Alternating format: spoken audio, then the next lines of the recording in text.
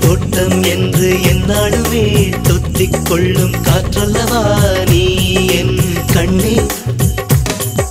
கல்யாண நாளில் மாலை கொள்ள கண்ணாளதின் பூஞ்சோரை செல்ல அந்த வனம்